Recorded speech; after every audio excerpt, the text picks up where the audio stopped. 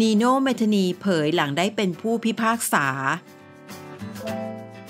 เรียกได้ว่าไม่มีใครไม่รู้จักจริง ๆสำหรับพิธีกรหนุ่มมากความสามารถ อย่างนีโนเมทนีบูรณสิริ ถือว่าเป็นอีกหนึ่งคนที่โดดเด่นมากๆ ในวงการบันเทิงไทย เพราะถือว่าเป็นคนที่มากความสามารถ มีผลงานมากมายในวงการ ไม่ว่าจะเป็นละครสั้น ละครชุด ภาพยนตร์ซิทคอม ละครเวทีและถ่ายแบบโฆษณา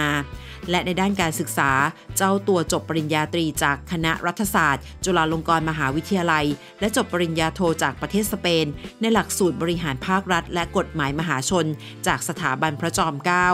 จบหลักสูตรผู้บริหารระดับสูงนิด้าเครื่องราชอิสริยาภรณ์ในปี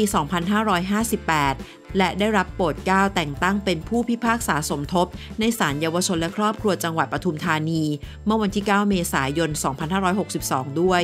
ต้องบอกเลยว่าเป็นความภาคภูมิใจของเจ้าตัวมากๆ และเจ้าตัวก็เป็นที่รู้จักกันเป็นอย่างดีในหมู่ของประชาชน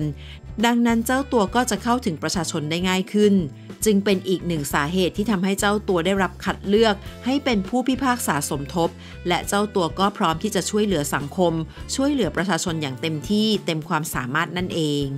ขอขอบคุณข้อมูลจากสยามท็อปปิก